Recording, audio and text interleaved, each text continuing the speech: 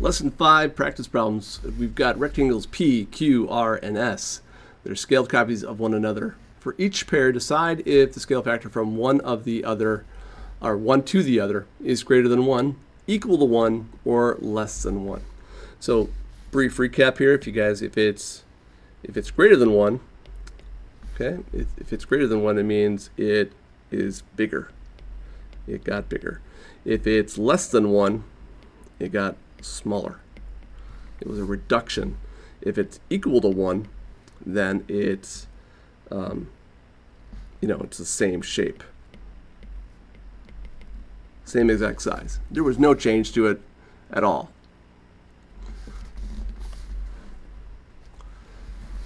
Okay, so uh, for the first one, it says from P to Q. From P to Q. So from P to Q, right there, that's definitely getting bigger. So that is greater than 1. All right, from P to R. Right here, P to R, that is definitely bigger, so that's greater than 1. All right, from Q to S. All right, now that went from bigger to smaller. Not, not Q is not the biggest shape there is there, but Q is bigger than S, so that's going to be less than 1. And by the way, if you don't know your signs, you know this is less than, this is greater than.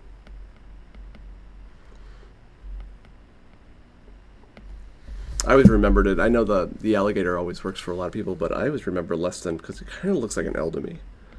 You know, looks like an L. And that way I don't forget it because you get the alligator analogy kind of breaks down when you start dealing with variables like x and n and stuff like that because you're not sure what n is or x is. So it's it's good to know what the actual symbol is, you know. All right, so you erase. Kind of have too many markings on here. Uh, from Q to R, from Q to R, we're going from here to here. Now that's going from big to small, so that is less than one, right there. That's less than 1. From S to P. So right there, from S to, oops, I went, that's S to R. From S to P, right here. Uh, now that doesn't look like it changed at all. So that, I would say that that's equal to 1. Those are exactly the same scale. All right, and then uh, from R to P, now that's going from big to small, so that is going to be less than 1. And then from P to S. All right, now P to S is going to be the same as S to P, and that's going to be equal to 1. All right, so those are pretty simple. All right, for number two, it says triangles S and triangle L are scaled copies of one another. Question A, what is the scale factor from S to L? What is the scale factor from S to L? All right, so I mean, there's a number of things you can look at here, but I'm going to look at this bottom part right here. That is 2. Okay, and then the corresponding part for that is right here. That's one, two, three, four. Right, so that's 4. Right there. All right, so what's the scale factor from S to L? Well, from S to L, it got bigger, so it's going to be greater than 1. So scale factor equals 2. So it doubled because 2 times 2 is 4. What is the scale factor the other way? What's the scale factor the other way? It's not 2. It's going to be 1 half. 1 half. For triangle M, uh, triangle M is also a scaled copy of S. Where is M? It's in our heads. It's in our imagination. Doesn't really exist unless we kind of draw it, unless you want to do that. The scale factor from S to M is 3 halves, 3 over 2. What is the scale factor from M to S, from M to S? Now what this problem is basically kind of making you do is see the see the kind of the connection here between these numbers right here. Now you'll notice that um, 2, um, when you flip it, you end up with 1 half because 2 as a fraction, you can write 2 as 2 over 1. And then when you flip that, that becomes 1 over 2. That's called reciprocal. There's a reciprocal relationship there when you go both ways. So the same is going to be true for 3 halves. So 3 halves is going to flip and go to 2 thirds. So there's your scale factor. Scale factor is 2 to 3, or 2 thirds.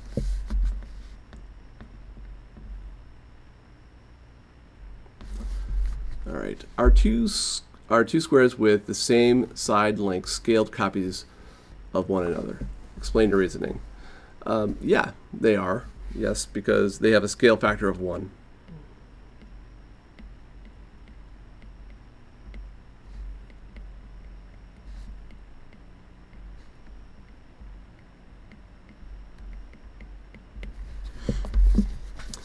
One doesn't seem like much, but that's kind of identity rule. You, know, multiplying by one definitely is a thing. You multiply by one, so you're going to have that. Uh, for number four, quadrilateral A has side lengths 2, 3, 4, 5, and 6. Quadrilateral B has side lengths 4, 5, 8, and 10. Could one of the quadrilaterals be scaled copies of the other? Now what I'm going to do is I'm just going to line this up just, just so we can see. We've got 2, 3, 5, and 6. And then the scaled copy equivalent is going to be 4, 5, 8, and 10. Now, um, now if I just look at the first set of numbers, you got a 2 and a 4 right there. Um, that That's a scale factor of 2. So does that work for the other numbers? No, it does not. 3 times 2 is 6. So that that's not a scaled copy. 5 times 2 is is 10. So maybe you'll, maybe you're supposed to go with that. But this one doesn't work either. But yeah, so this is not scaled.